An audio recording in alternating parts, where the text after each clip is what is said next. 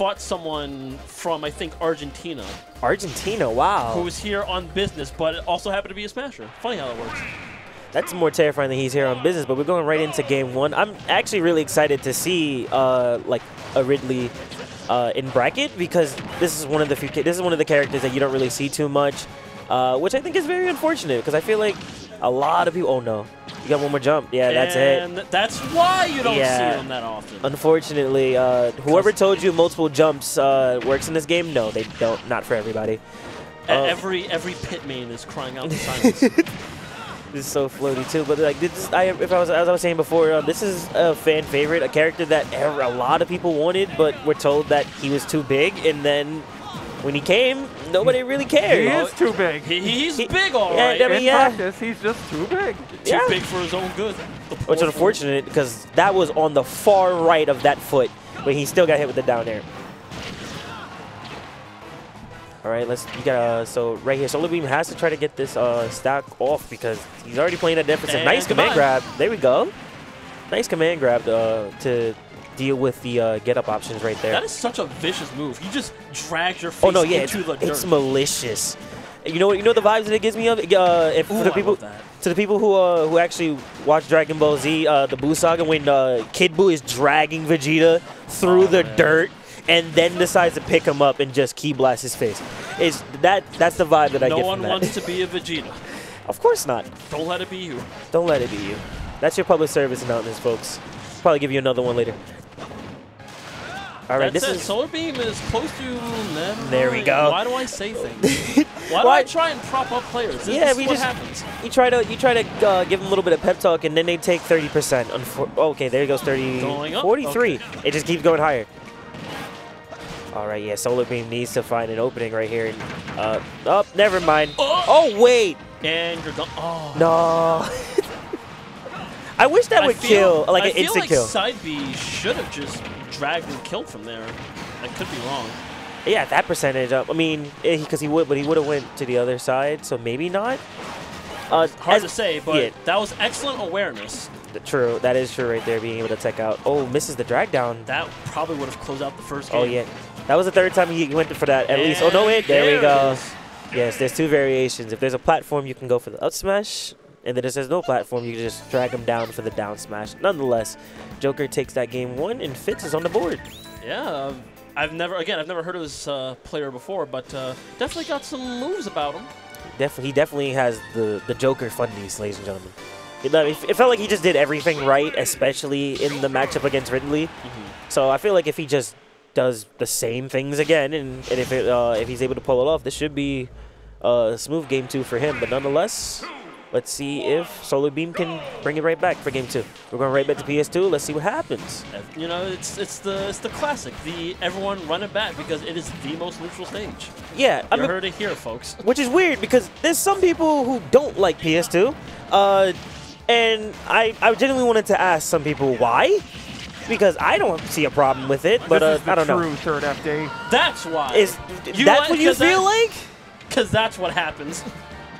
Solar Beam taking an amazing first stock to the second game, saying, I'm not out of the hill yet. Unfortunately, getting uh, peppered right in the mouth. Hey, yo, Arsene right back at it again. Let's go. We take this Oh, damage. hold on, hold on. Oh, wow. The double jump. That back here is so that back here is so like just destructive, especially when you have Arsene. It just sounds Not like Arsene, it's still very strong. Oh Very, yeah, uh, absolutely. definitely a top five privilege move if ever I've seen one. That that sounded like it came from the chest. Is it? Do you want to talk about something, Sonic Fiend? I mean, this is a safe space by all means. I mean, I know the deal because I play that character. Okay, no, so so I'm there just, you. I'm just enthralled seeing it happen on screen. Oh, okay. So you're one of you're one of the the, the abusers. Okay, huh? And Ridley's just a fun character to watch, so I'm in for a treat. of course, yeah.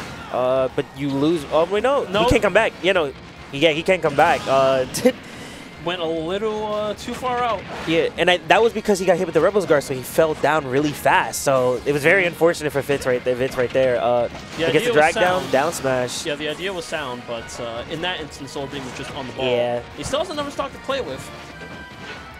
The Solar Beam is up a stock, so he might be able to run away with this game too, which is really great. We're going to guarantee that you're going to guarantee to the game three right off the bat. This is great. Punishing that Rebel's guard as everyone should do. Don't don't just let him get it for free. Yeah, it definitely has a lot of end lag, like all counters normally do. So make sure to punish your local Joker mates. Mm. Don't don't let them get away with that shit. Oh no! Oh, baby. Don't let them get away with that too. Uh, if you can avoid it, try to. I mean, that, please. That was, that was kind of a checkmate situation. yeah, he didn't had nowhere else to go, honestly. But uh, the big scary man's gone away, so Maybe he would have racked this back up. Ridley does not have an issue killing at all. Uh, he definitely has a lot of uh, moves that can lead into kill options, whether it's back air or up air, or even he could go for like really cool options like uh, tech chases. Like But any any fault of Ridley's is. Or you could just do that. No, you're, he's gone. He, he's Wait, he's not dead? No. Oh my. that that was way too far. But um, what I was gonna say is Ridley has no shortage of good moves in neutral and an advantage. Oh god. Kind of had to air dodge there, but then you lose your jump. No. That, oh, ooh, that was untechable. too. That was untechable. Mm, unfortunately, the uh, better character came out on top. The set going to Vitz with uh, no like with no shortage of Solar Beam keeping that competitive. He was primed and ready to make that uh, game two his, take things into overtime, so to speak. Like that was so good. That was such a good pickup right there, and it's, it's just very unfortunate because Solar Beam was uh, up an entire stock this entire um, that entire game too. and then and then down. this yeah, one- he was up two stocks. Yeah. Bink.